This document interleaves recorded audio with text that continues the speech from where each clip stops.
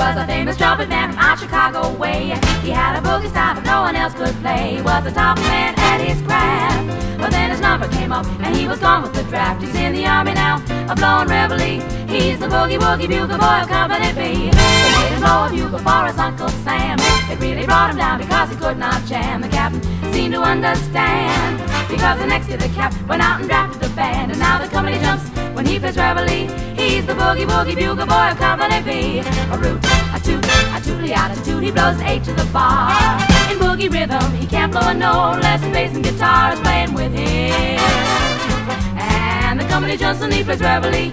He's the boogie woogie bugle boy of Company B. He was some boogie woogie bugle boy of Company B. busy as a busy bee. When he played, he made the company jump eight to the bar. He's the boogie woogie bugle boy of Company B. Da da da doodly da doodly da doot doot. He blows eight to the bar.